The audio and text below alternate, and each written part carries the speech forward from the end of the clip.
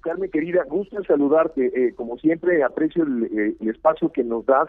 le recuerdo a tu audiencia que tú eres miembro de ANERI, una miembro muy distinguida desde hace 15 años. Entonces, aprecio enormemente Gracias a ti. la oportunidad que me das para hablar de esto. Mira, Carmen, a mí me, me has preguntado en dos ocasiones aquí con tu audiencia qué, qué pienso sobre en ese momento la posibilidad de lo que de que nos ocurriera lo que nos acaba de ocurrir y creo que es absolutamente eh, lamentable. Vamos en un retroceso absoluto no de eh, la reforma eh, que hasta este momento parecía que era una de las más exitosas en el sector de las telecomunicaciones sobre todo por su vertiente en materia de derecho a la información el derecho de las audiencias y también la reforma de telecomunicaciones tiene que ver con el derecho a la información. ¿Por qué las telecomunicaciones? Porque las telecomunicaciones garantizan a las personas que estén conectadas y ejerzan su libertad de expresión. Tú viste ahora en los, en los terremotos cómo eh, había dos Méxicos. En el primer terremoto eh, nos enteramos todo por televisión, pero en el segundo terremoto nos enteramos todo por las redes.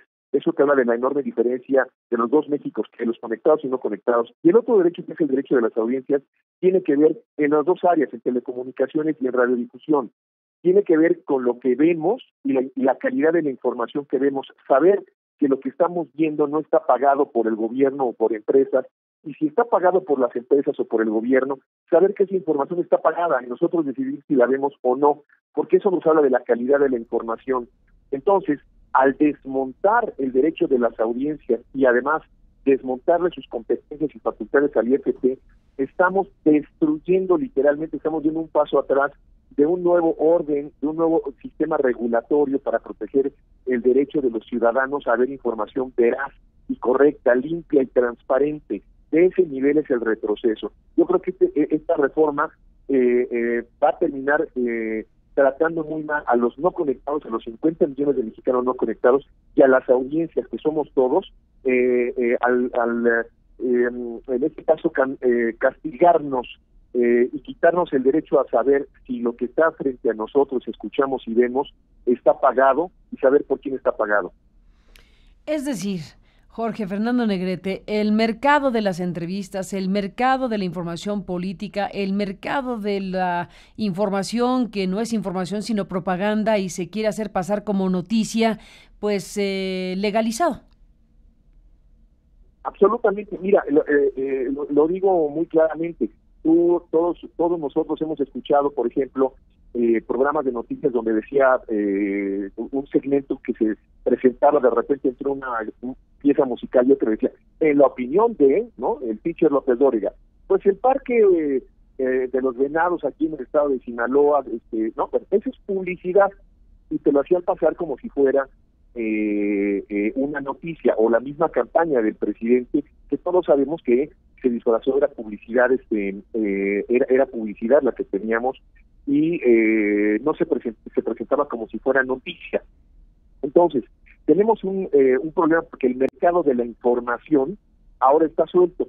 Teníamos ya un régimen donde la autoridad, que era el IFT, tenía un procedimiento, no un debido proceso, eh, eh, tenía garantías constitucionales para permitirnos saber si lo que veíamos o no estaba pagado. Nada más y nada menos, ¿eh? o sea, ¿Se puede pagar? Por supuesto que se puede pagar. ¿Lo puede pagar el gobierno? Sí, y los particulares también, pero que lo digan.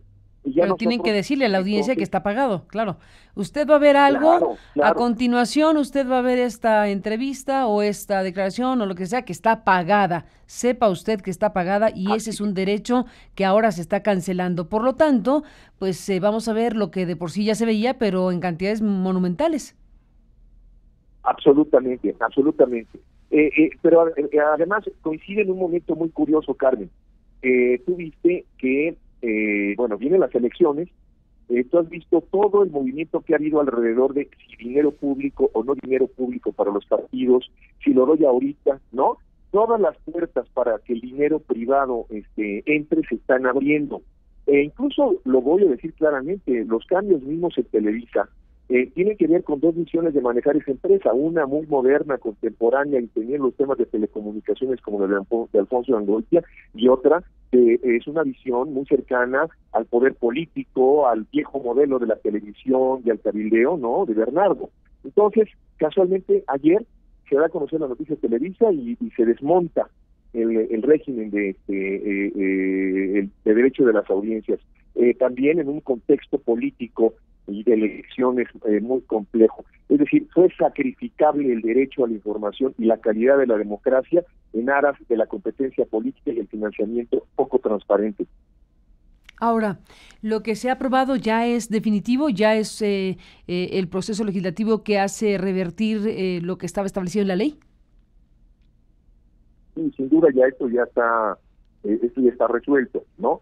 Eh, eh, tenemos que analizar jurídicamente el tema de la controversia que está en la Corte, ¿no? no, me, no, no, me adelantaría, tenemos que estudiarlo, y también las acciones que tendríamos que realizar ante todo esto. Eh, lo cierto es que eh, no es un buen momento para el derecho a la información en todas sus áreas, ¿no? Este, eh, y ahorita, insisto, hablamos de 50 millones de mexicanos no conectados, del desmantelamiento del derecho de las audiencias, pero también de la pluralidad y de las voces. ¿no? Porque eres tú, ¿no? Este, Gutiérrez Vivó, ¿no? Es este, Samuel García, este, son eh, ahora eh, Ricardo Rafael junto con Leonardo Furcio. Entonces, todas las todas las trincheras del derecho a la información en este instante están siendo agredidas. Y en este caso, más allá de los periodistas y lo que sucede con los periodistas, estamos hablando de las propias audiencias en directo, ¿no? Que en este punto la ley las contempla como entes con derechos claros, como entes que tienen derecho a exigir el cumplimiento de sus derechos. Algunos lo han intentado en procesos judiciales y también la respuesta judicial en estos últimos años no ha sido precisamente la que esté a la altura de la propia ley que estaba vigente o que está vigente aún. Sí, sí, totalmente. Mira, por ejemplo, eh, el derecho, el derecho de las audiencias, que es un derecho consagrado en la Constitución, como todos los derechos fundamentales, tiene que estar tutelado por un órgano del Estado, ¿no? Entonces, eh, este, es, este es el primer derecho fundamental que no va a estar tutelado por el Estado, Carmen, porque el órgano administrativo, el órgano del Estado que se encargaba de su tutela, que es el Instituto Federal de las Telecomunicaciones, ya no es competente para hacerlo, es decir, el derecho administrativo, el derecho público en este caso quedó de lado, y quién es el que va a regular la tutela del derecho de acceso a la información de las audiencias. Pues los códigos de autorregulación de las empresas de radiodifusión, mira nada más. Entonces, ahora son los regulados, los concesionarios, los que van a tener la posibilidad de, eh, eh, de, tutelar el derecho de las audiencias, porque aparte ellos nombran a los defensores de las audiencias, les pagan y establecen sus códigos de ética. Me parece absolutamente eh, increíble que en un Estado de Derecho ya tan evolucionado como lo era el Estado mexicano, tengamos un retroceso de estas dimensiones. Jorge Fernando Negrete, a reserva de que la propia MEDI que presides, eh, bueno, revise, como dijiste, las implicaciones legales y lo que eventualmente pueda suceder, porque efectivamente aquí hay una cuestión en lo que la Suprema Corte de Justicia estaba revisando el tema de los lineamientos que estableció el Instituto Federal de Telecomunicaciones en el marco de esa ley, bueno, pues al final de cuentas el tema llegó hasta la Suprema Corte de Justicia y el propio IFT, eh, si bien no renunció, digamos, retrocedió en su aplicación precisamente pues a la espera de que resuelva el máximo tribunal el tema. Pero ya los legisladores se adelantaron. Se adelantaron tratando de quitarle materia a la Corte. Eh, pero además hay un elemento eh, político adicional que entra, eh, digamos, en choque con este asunto jurídico, Carmen. Eh, tú te has fijado que en los últimos meses ha habido un verdadero problema por el tema del famoso fiscal, ¿no? y además problemas en otras materias para llegar a acuerdos en materia anticorrupción, etcétera. Pero el único punto en el que sí consiguieron todos los partidos por mayoría fue este. Es decir, todos tienen algo que ver, ¿eh? Todos. Ninguno se se excusó o se manifestó en contra? Mira, eh, por ejemplo, eh, eh, el sector muy específico. Por ejemplo, la, el PP Dolores Padierna, por supuesto, ¿no? este, eh, por supuesto, Encina, por supuesto, Manuel Vázquez, ¿no? Este, el grupo de Movimiento Ciudadano. Pero en general, PAN, PRI y Verde, que son finalmente los que dominan y tienen esta mayoría, teniendo diferencias públicas relevantes, coinciden casualmente en ¿no? Logra una votación además pues abrumadora. Pues eh, hemos visto, Jorge Fernando Negrete, eh, comunicaciones importantes como la que emitió eh, Amedi, precisamente una comunicación. Hay otras comunicaciones que hemos seguido de cerca, las hemos recuperado y las seguiremos recuperando para nuestro sitio y nuestro portal, para las personas que quieran leer directamente los pronunciamientos que se están haciendo al respecto de esto que ha ocurrido y que, bueno, pues en el fondo lo que está es desmontando, revirtiendo una circunstancia muy importante que no podemos pasar por alto como ciudadanos. Eh, ahora vamos a tener una, una situación en donde no habría elemento legal para defender a la sociedad de que le hagan pasar gato por liebre, es decir, que le hagan pasar propaganda pagada por información y que eso se coloque ante la audiencia como si fuera noticias o información viniendo con el pago de alguien y eso es sumamente delicado. Claro, claro, mira, no, no, eh, eh, que no exista pluralidad eh, en una sociedad eh, agrede nuestra democracia, baja la calidad de nuestra democracia. pero también la calidad de la información importa.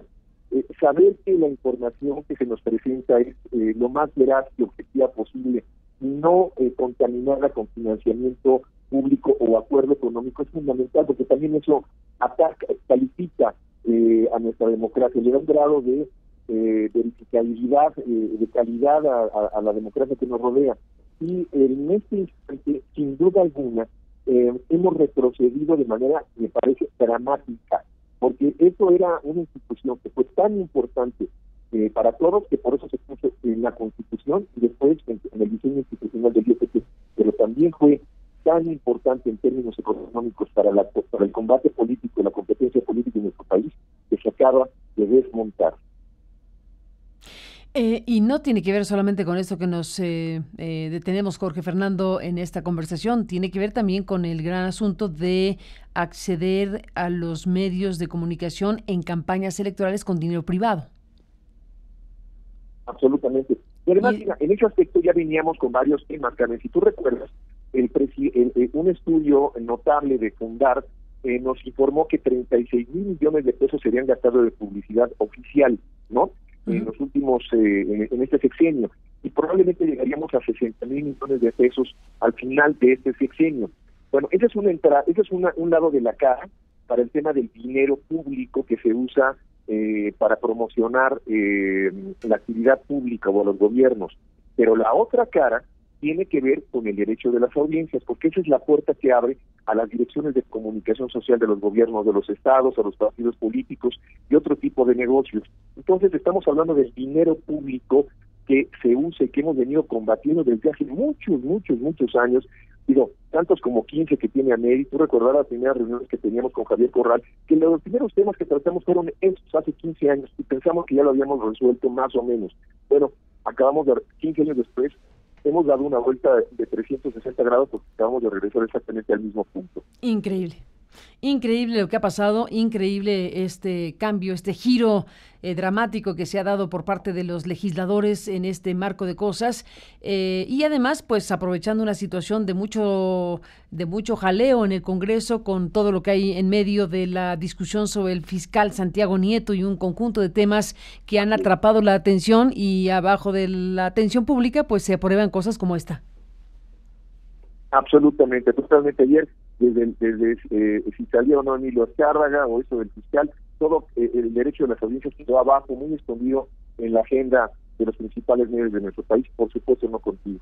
Lo que costó llegar al punto de una reforma constitucional como esta? Bueno, fueron décadas, eh, fue un proceso larguísimo y efectivamente en un marco como el que se dio en México, muy controvertido, muy polémico del famoso Pacto por México y alianzas entre partidos para lograr un paquete completo de reformas. Bueno, lograron la reforma energética y petrolera y varias otras y en el camino se logró se lograron colar en esa mesa asuntos como este, que eran las grandes batallas, las grandes reivindicaciones por derechos fundamentales de las audiencias, de la libre información, y finalmente se aprobaron cosas como la reforma de telecomunicaciones que incluyeron precisamente estos parámetros que están en sintonía, hay que decirlo, Jorge Fernando, con las mejores prácticas internacionales. Pues eso, primero, ni se aplicó a la hora de la hora ya con la ley vigente y una vez que vemos esto, pues ya ni ley habrá. Claro, no, no, eh, mira, acabas de tocar un tema que es muy importante, las mejores prácticas internacionales, Carmen. Eh, estoy aquí en Colombia casualmente por un tema eh, también importante. Aquí en Colombia han mirado al modelo regulatorio mexicano en materia de comunicación y están en este instante presentando el nuevo modelo regulatorio del órgano que será el equivalente al Instituto Federal de Telecomunicaciones. Y ahorita estoy teniendo que dar mi comunicación eh, diciendo cómo, eh, reportando cómo se acaba de desmontar eh, uno de los puntos que ellos querían incorporar a, este, a su regulador, que era, que era el tema de derecho de las audiencias, ¿no? Es una pena porque hemos tenido tan buenos resultados en algunas cosas que ahora muchos órganos reguladores de América Latina han mirado al, IFT como una referencia y se quieren parecer a él. Bueno, pues ahora nosotros mismos lo estamos destruyendo. Y además supe con qué saña eh, se, celebró la, el nombramiento de, y ratificación de Gabriel Contreras en el IFT. Eh, se trató con mucho desprecio al IFT. El IFT está tocando, eh, está tocando intereses profundamente delicados, muy, muy delicados, y yo creo que si bien hay cosas que nos deben, yo comienzo siempre por reconocer lo bueno. Eh, en este caso fue penoso ver cómo eh, se tardaron en ratificarlo, y además, en el momento en que estaba ratificando a, Gabriel, eh, muchos eh, eh, partidos políticos, muchos coordinadores de, fracciones parlamentarias andaban dando la instrucción como si fuera su empleado, ¿no? Este, lo cual es muy vergonzoso, dándole línea de lo que tenía que hacer. Yo, la verdad, veo que ha estado bajo fuego el Instituto de Telecomunicaciones y ahora le amputan un, un elemento fundamental que ya lo caracterizaba era eh, tutelar eh, eh, y tener un proceso interno para defender el derecho de las audiencias. Bueno, pues eso ya se acabó. Qué fuerte, Jorge Fernando Negrete. se apela a la libertad de expresión en el discurso de los que han defendido esta decisión o estas decisiones. Están diciendo que realmente es una batalla por la libertad de expresión. ¿Qué dices tú como presidente de la MEDI? Mira, ese es otro elemento absolutamente penoso. La, la, libertad de la libertad de expresión eh, es un derecho fundamental, eh, pero también el derecho a la información. Y, eh, es tan importante la libertad de expresión de los comunicadores como el derecho a la información de las audiencias. Primero, del, del, del comunicador, por supuesto, ejercer dentro, de los dentro de la más amplia expresión posible y de la ley su libertad de expresión, pero también de las audiencias a saber que le están diciendo la verdad que hay una información, insisto, transparente. Y cuando hay un conflicto entre derechos fundamentales, no es ver quién es superior o quién gana o quién es más fuerte, quién tiene más, este, eh, eh, eh, digamos, químicos en su estructura muscular. No, se trata, es un tema de ponderación jurídica, es un tema de ponderación constitucional entre derechos fundamentales, lo cual tendría que llevar a un procedimiento específico pero lo cual es algo muy normal ahora en un Estado de Derecho como el, como el nuestro. Pero cuando eh, se apela a este, eh, se usa los comunicadores, como tú viste que incluso muchos comunicadores se pusieron de esa de ese lado y decían, yo, ¿cómo voy a andar diciendo este eh, que si esto es ahora mi opinión y si es noticia?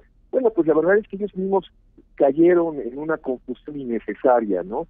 Eh, eso me, apena mucho, me apena mucho porque la libertad de expresión y el derecho a la información habían llegado a un buen nivel de ejercicio eh, y esperábamos mejores cosas de eso. Ahora eh, damos, damos un paso pues dramáticamente hacia atrás. Dramáticamente hacia atrás, Jorge Fernando Negrete, pues veremos qué termina de resolver la Suprema Corte de Justicia, porque supongamos que la Corte se pronuncia en un sentido Em, eh, favorable a que el Instituto Federal de Telecomunicaciones eh, tiene atribuciones para establecer, entre otras cosas, ese tipo de planteamientos, de lineamientos, eh, por hablar del tema que llegó a la Corte. ¿Qué pasaría si sucede algo así?